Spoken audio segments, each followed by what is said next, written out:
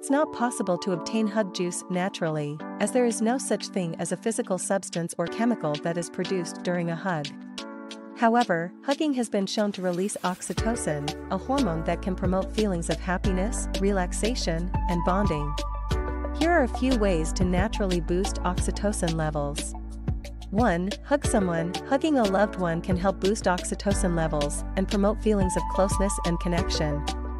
2. Spend time with loved ones. Spending time with loved ones, whether it's going for a walk, sharing a meal, or chatting on the phone, can help boost oxytocin levels and promote feelings of happiness and well being. 3. Get a massage. Massage can also release oxytocin and promote feelings of relaxation and well being. 4. Engage in positive social interactions.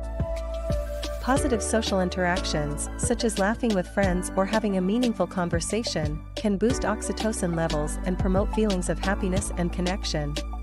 Remember, while there may not be a physical hug juice to obtain, there are many natural ways to promote feelings of happiness, relaxation, and bonding.